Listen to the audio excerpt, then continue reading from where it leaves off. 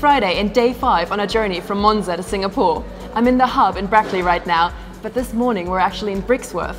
Pulkit Gupta, you were wondering what happens to the engines between races. Well, this morning I was speaking to Owen Jones, who's head of performance and controls at Mercedes High Performance Powertrains. Um, so this is the main build shop. Um, I guess the big activity this week is, all, is preparation work for Singapore. So all our race engines have come back from the last race in Monza, the last European race in Monza. Uh, we're doing servicing and preparation before they get boxed and shipped out to Singapore next week. Uh, and we won't see them again then until the end of the season. So um, it's sort of farewell and good luck at that point. So we're standing in front of the sub-assembly now. What goes on in there? So this is where we build sub-assemblies before being supplied to the main build. So the pumps, the cylinder head, the fuel system, all the turbocharger, MGUH assembly, they're all assembled in here and then they're passed off on rigs before being provided to the main build to be assembled into a complete power unit. So this is our main manufacturing hall where we make all the parts for our power unit. Um, just about everything's made in here for the race engines and also development engines. So we've got a few more engines to make for this season uh, and then we'll be into making the first prototype engines for next season. We make valves, cams, crankshafts, cylinder heads, cylinder blocks. Uh, the turbo, not much. Turbocharger, compressor, all the motors are made here, the battery packs. So yeah, it's uh, pretty much covers it all. The whole lot, yeah. Very impressive facility.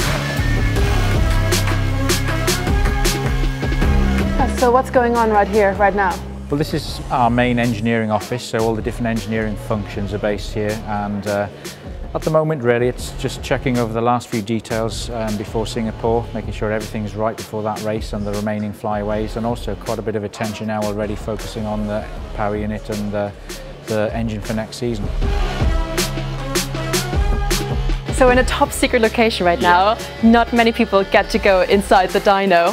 What is going on here right now?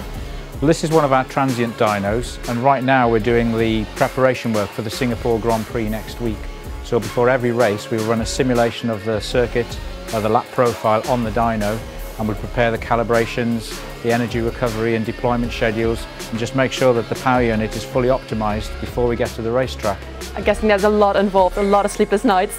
Yeah, we start try and start at least a week before the event. Um, and also during the event itself, we'll have the engine, the power unit available on the dyno so that there, if there are any issues raised during free practice, we can bring them back, play them on the dyno and, and fix them ready for the next session. What an incredible tour. We've never had access like that before, so I hope you enjoyed it. We're back to Brackley now, but just before leaving, Owen showed us something amazing. So keep watching, it's coming soon. After a short drive through the English countryside, it's back to Brackley. And we headed up to the design office because Jorge Santamaria on Twitter wanted to know how a part is designed. So he spoke to Ashley Way, head of mechanical design. We're all about Monza to Singapore this week, so Ashley, we thought it would be really great to talk to you because you were actually up on the podium in Monza.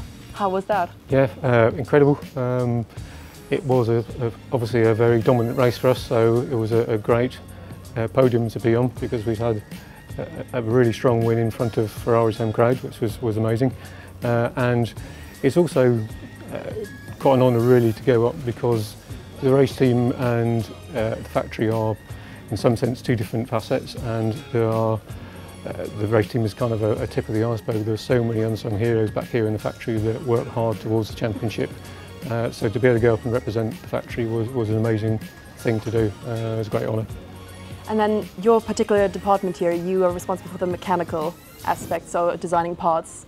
Uh, so for us, uh, mechanical group, we um, focus on suspension, uh, car controls, things like steering, brakes, uh, pedals, those kind of things. Um, as I say, for us, we, we're looking at some reliability stuff, which luckily there was very little to concentrate on. Got some upgrades coming for the coming races, so we'll concentrate on them to get some more performance on the car, keep, keep our performance advantage, um, but very much looking at next year. So we're looking at layouts of next year's suspension, looking at how all integrates into the car and, and, and really very much getting into the detail of some of that already. It would be amazing if you could show us actually like how you work on parts and how you design them. So this is uh, part of the front suspension, it's the front push rod. We start usually from having uh, some basic concepts of the suspension and we build the parts around that.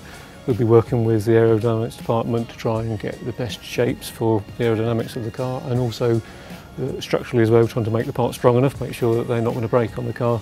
uh, and then we start to build these up on, on the CAD system. Initially it will start to schemes, we'll go through uh, structural checks and make sure everything's strong enough uh, and then convert that into sort of individual parts, individual drawings and that then heads off down to the production department for manufacture. Funny you should say that because we're actually going to head down there now and look at how a real pod fits in. Fantastic.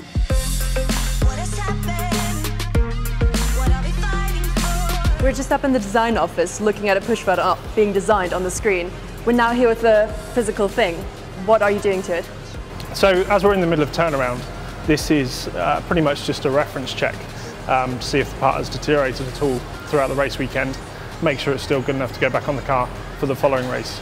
If it was a new part, we'd be doing a predetermined mileage and potentially doing a test to destruction to, uh, to make sure the model correlates with what the actual part has produced.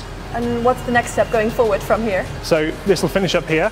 We'll check our results, make sure the stiffness is within the tolerances that we predefine. Then this will go through to scanning, where they'll do an ultrasonic scan on it, make sure all the bonds are still good, make sure there's no delaminations, and then from there on, it'll go back to live stores and be built up for the next car. So we might actually see this part in F1 car next weekend. Absolutely. Right, thank you very much. No problem. At the beginning of the week, we saw the freight return from the final European race of the season in Monza on the race trucks. But how does it now go all the way out to Asia? That's what Chris Wall was wondering on Facebook, so I spoke to Mark Shepard, freight team leader, to find out. This all looks like a really serious setup just to transport some freight over to Asia. What is going on here?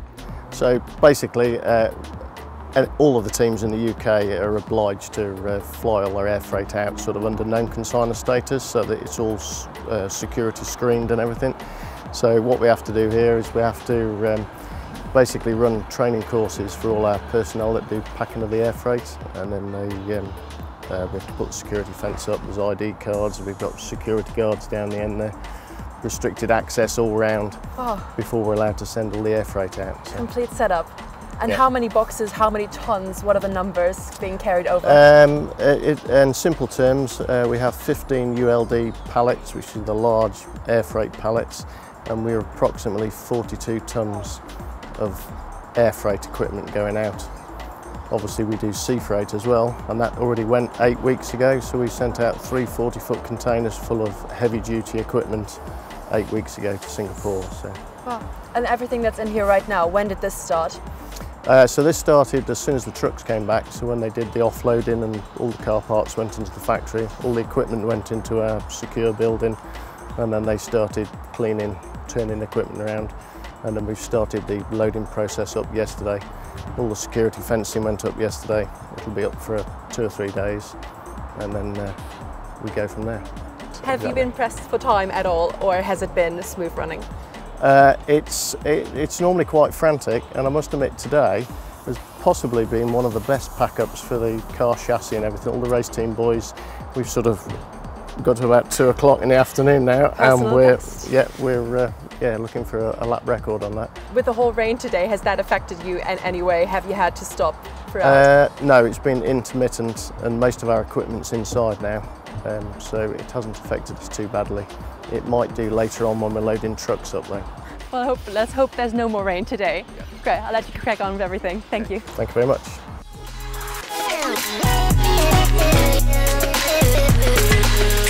For the first five days of our Monza to Singapore series.